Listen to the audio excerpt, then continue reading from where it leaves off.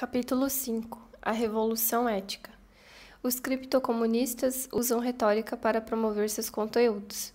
Uma delas é o fato de achar que problemas locais podem ser resolvidos por soluções globais, como ambiente, por exemplo. Citam eles que todos os valores morais e crenças devem ser realizadas cientificamente, e isso só pode ser obtido por meio de uma educação formal que explicite esses valores. Em outras palavras, estão igualando tradição a preconceitos que devem ser extirpados da mentalidade humana.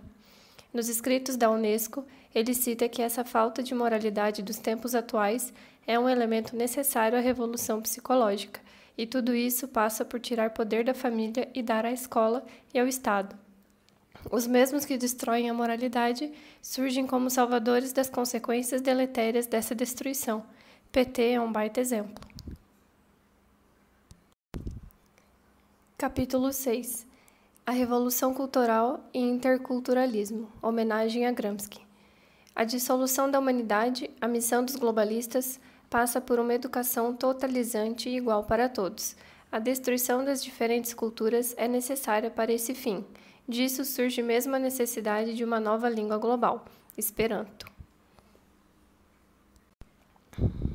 Capítulos 7 e 8 Os IUFMS a formação de docentes utilizando das técnicas de controle de pensamento citadas no primeiro capítulo servem então para que estes se tornem agentes dóceis dos revolucionários.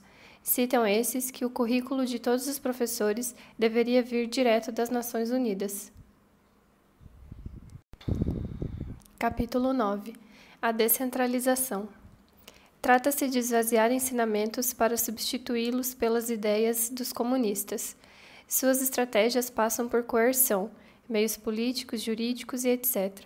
Empíricos racionais, deixando de lado transcendental, religião e etc. E normativa, mudanças por meio de behaviorismo. Citam que só é possível se os vários agentes da moralidade, comunidade, família e etc., estejam juntos com a escola, controlados por esta. Descentralizar o poder das instituições consagradas e dar para a escola é a sua missão.